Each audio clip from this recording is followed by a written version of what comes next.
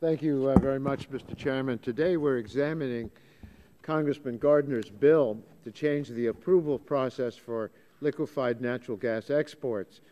Uh, I uh, said it when we first started discussing the possibility of LNG exports.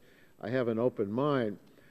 Uh, but I want to talk about some of my concerns. A number of studies predicted that LNG exports would have mildly positive economic effects, and since then, DOE has moved aggressively to approve LNG exports.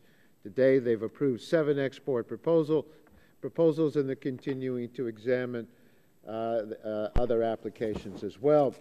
We need to carefully consider the impact of LNG exports on natural gas prices and the impact of higher prices on American consumers and manufacturers.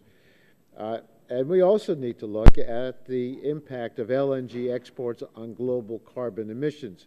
Increasing U.S. exports uh, would allow other countries to move from coal to natural gas, reducing their carbon emissions abroad, but LNG exports could increase U.S. carbon pollution by shifting electricity generation back to coal and increasing fugitive methane emissions. I'm not opposed to DOE's considering applications for additional LNG exports, but I want those reviews to be thorough.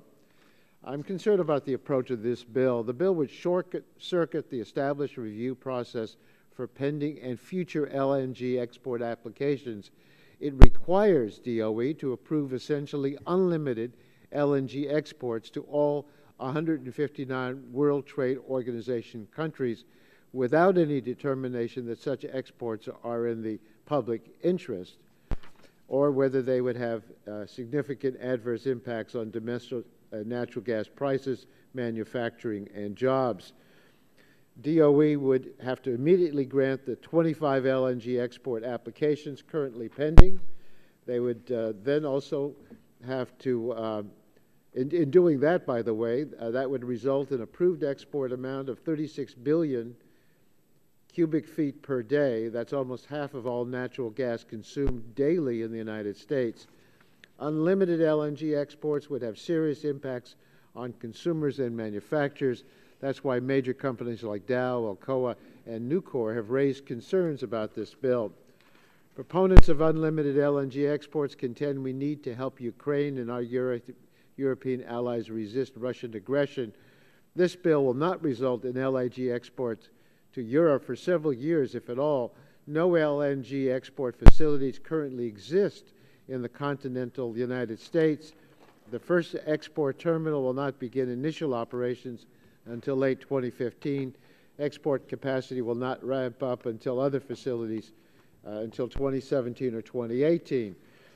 When the U.S. actually begins to export significant quantities of LNG three or four years from now, where will it go?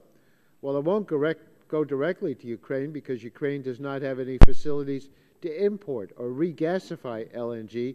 In fact, it may not even go to Europe.